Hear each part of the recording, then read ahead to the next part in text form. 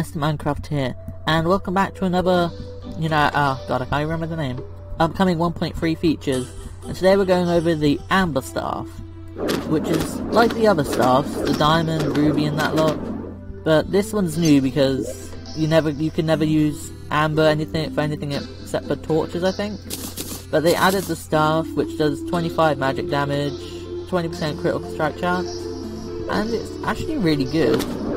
And I say that, but it's early. Let's test it out right here. It does a reasonable job. Yeah, and that's basically it. Um, the crafting recipe is amber. I have to link that in the description because I kind of forgot to look that up. But yeah, I hope you guys enjoyed this 1.3 upcoming feature video.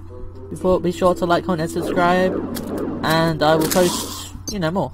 So see you guys later.